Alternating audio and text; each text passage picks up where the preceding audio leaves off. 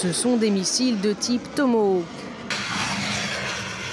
Sur ordre du président américain, 59 de ces engins ont été tirés depuis des navires de guerre en Méditerranée vers la Syrie.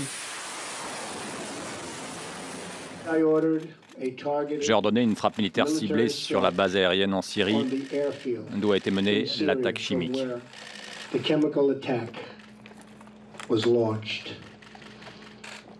C'est dans l'intérêt de la sécurité nationale des États-Unis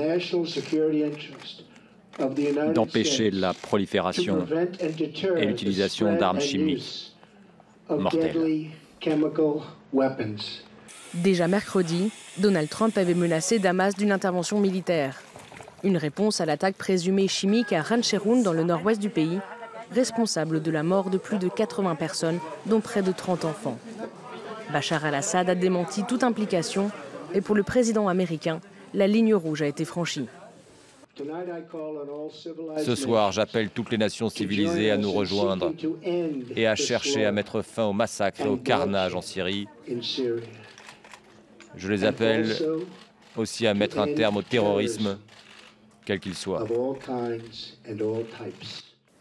Le secrétaire d'État Rex Tillerson a justifié les frappes américaines par l'échec de Moscou à faire respecter l'accord sur le démantèlement de l'arsenal chimique syrien en 2013. Pour lui, la Russie est soit complice, soit incompétente.